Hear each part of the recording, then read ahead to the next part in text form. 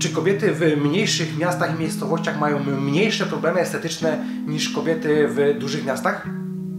To jest pytanie, które zadaję wielokrotnie gabietom, które borykają się z decyzją o wprowadzeniu zaawansowanej kosmetologii do swojego mniejszego miasta, bo oczywiście kobiety w każdym zakątku Polski mają podobne problemy estetyczne.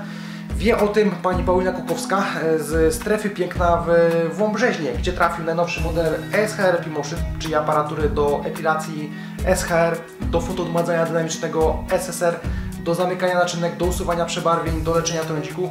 Te wszystkie nowoczesne technologie dostępne są na najmocniejszej platformie SHR Epimotion, dostępne są już w Wąbrzeźnie, w strefie piękna.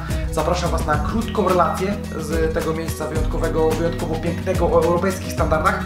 Pokażę Wam jak wyglądała dostawa, jak wyglądało szkolenie. Zapraszam.